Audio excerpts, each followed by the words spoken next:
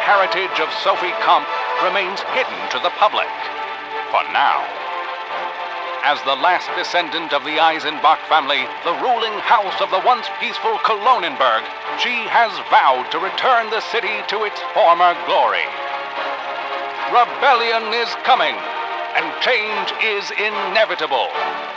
Will you flow with the change or against it?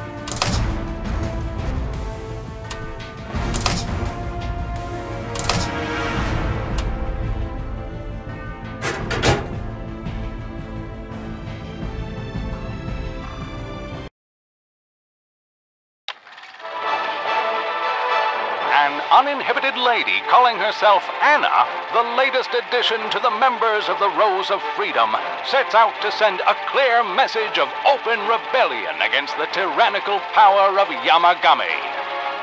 Join the Rose of Freedom in releasing Steam City from the bindings of the corporation.